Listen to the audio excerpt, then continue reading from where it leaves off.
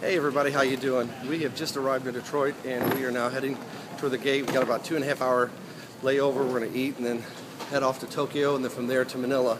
So appreciate your prayers. Thanks again for everything that you've done and praying for us. Uh, keep up to date with the videos and the pictures we'll be posting. God bless.